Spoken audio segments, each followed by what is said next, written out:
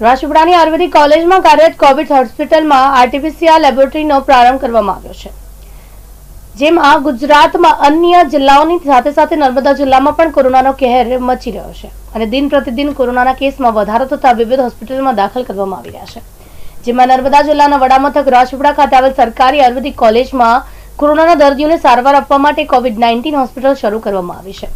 આ હોસ્પિટલમાં આવતા દર્દીઓના આરટીપીસીઆર સેમ્પલના પરીક્ષણ કરી વડોદરા માટેની હોસ્પિટલમાં તેમજ અમદાવાદની હોસ્પિટલમાં મોકલવામાં આવતા હતા.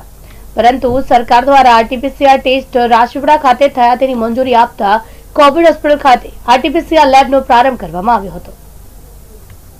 નર્મદા જિલ્લામાં covid nineteen hospital, ayurvedic hospital ખાતે ચાલે છે. અત્યાર સુધી આજથી પંદર વીસ દિવસ પહેલાં આપણા પાસે આરટીપીસીઆર લેબ માટે કોઈ અપ્રુવલ નહોતી.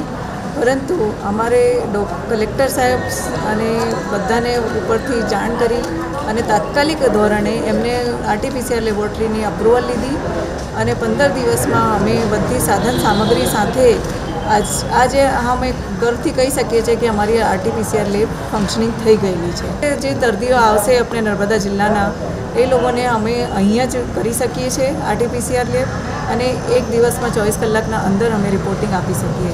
અત્યાર સુધી આપણે એક વર્ષથી આપણે કોરોના ચલાવીએ છીએ અને બધા સેમ્પલ બધી જગ્યાથી ફિલ્ડમાંથી આવીને ભેગા કરીને અને આપણે એસએસજી હોસ્પિટલ વડોદરા અને ગોત્રી હોસ્પિટલ વડ- વડોદરા ખાતે મોકલવામાં આવતા હતા. અમુક ટાઈમ વધારે સેમ્પલ હોય તો બીજે મેડિકલ કોલેજ અમદાવાદ પણ મોકલેલા છે. અને અત્યારે કોરોનાના કેસ વધવાના હોવાના હોવાના લીધે રિપોર્ટ ત્રણથી ચાર દિવસ લાગે છે આવતા નથી. અને પેશન્ટોને બહુ હેરાનગતિ થતી હતી. આ વસ્તુનો નિકાળ આપણે લાવી શકીએ. નવી લેબ શરૂ કર્યા પછી એક વખત આપણને થર્ટી ફોર સેમ્પલનું ટેસ્ટિંગ કર્યું. કાલે એકસો અઢારનો સેમ્પલનું ટેસ્ટિંગ કર્યો. હવે આજે હજુ વધારે અમે સેમ્પલ મૂકવાના છે. તો બસોનો અમે ટાર્ગેટ અત્યારે રાખેલો છે. ધીરે ધીરે ધીરે અમે પાંચસો સુધી લઈ જઈશું.